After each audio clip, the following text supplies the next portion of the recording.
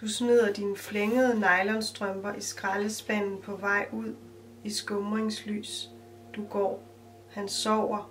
Du ved ikke, at du vender tilbage, og hvorfor.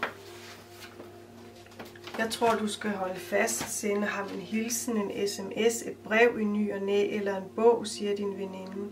Så du forsøger at skrive ham en hilsen, et brev, en bog, men du går i stå, falder i staver, laver fakter, vælter bogstaver, de forkerte ud over siden. Du skriver sedler, klipper huller.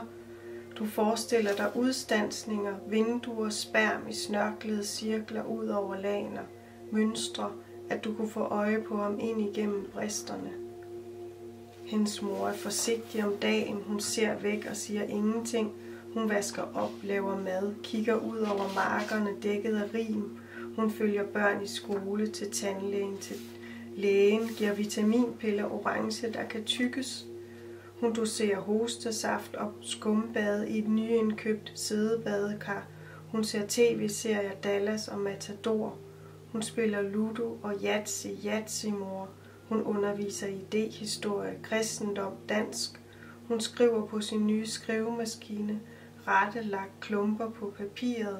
Hun holder foredrag, gør rent, køber ind. Om natten skriger hun.